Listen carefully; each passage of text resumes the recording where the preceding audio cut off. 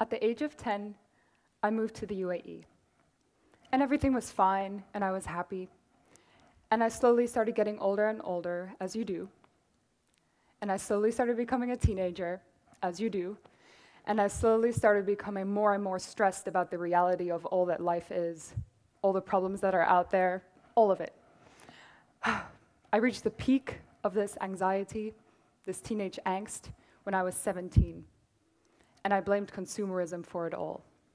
This incessant need I had to buy things, to fill my empty life. And I blamed the UAE for it. I did. Because this country is 43 years old, and not much physically dates older than 43 years, and there are malls everywhere. So the UAE became my scapegoat. And I fed this narrative. You know, I was looking for things to say, yes, it is the UAE. Right down to my bedroom, which was filled with IKEA furniture. Yep. and as I looked around, I realized all of my friends' bedrooms were also filled with IKEA furniture. And then I looked further, and so was the dining room in my house, and so was the living room, and all of a sudden my whole life felt like an IKEA catalog. and I felt lost. And I thought, I need to go find some real stuff. Some stuff with, you know, real stories and history and true, true authenticity. And I decided to go back to my home country of the Netherlands, a place a little bit older than the UAE. I'd completely romanticized the past. Um, and I was looking for things with story and history. And I found these three beautiful things. I went to flea markets and I found this clock. I don't know where it came from. I don't know how old it is exactly, but it has a name on the back. It says Jan de Echte.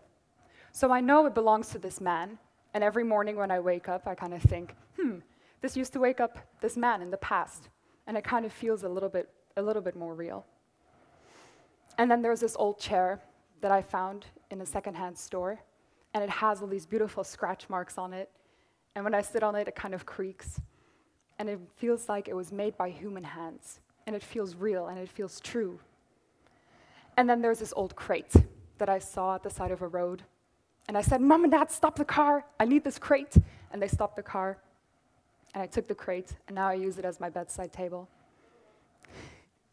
So there are these three things that, I've, um, that I took back home, my other home of the UAE, and I felt so proud. You know, this clock and this chair and this crate, and I finally felt like I had something real to hold on to, some final authenticity among my other IKEA furniture, and I was so proud of myself. And then a week later, I went shopping with my dad in a mall, and I went to one of the newest furniture stores, and as I entered, I was surrounded by vintage furniture.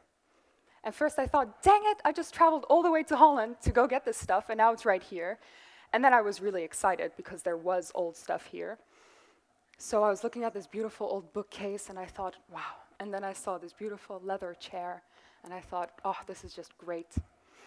And then I asked the person working at the store, I said, where did you get this stuff from? It's all vintage, it's all old. And he said, oh, no, we made it at our factory.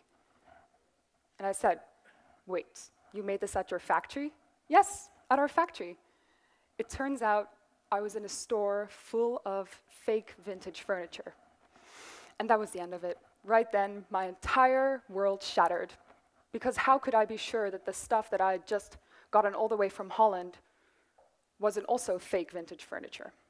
And I thought, dang it, again, because I should have gone to a place where I could have gotten written authentication, maybe, you know, from an expert and a signature that maybe said that it was real, that it was authentic, and I should have gone and collected stories. But then I thought about that, and then I realized signatures can be forged, and expertise can be faked, and stories can be constructed. Stories can be constructed. All of the things that I just showed you the clock, the chair, and the crate I made them all. They were all actually from the IKEA catalog.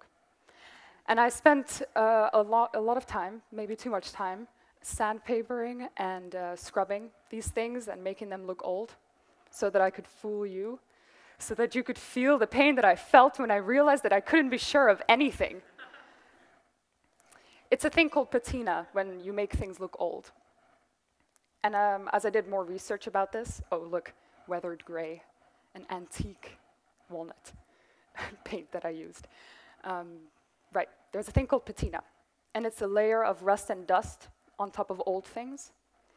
And I found out that in the past, families with old money, they used to not clean their jewelry because they wanted that layer of old so that it would distinguish them from families with new money who had shiny, bright jewelry.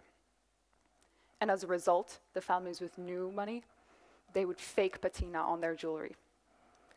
And then I realized, oh man, this construction, it's not new. It's not 2015. It's not the UAE. It's been happening all along, constructing stories. And, and all of a sudden, I was spiraling into insanity as I realized I can never really be sure of anything.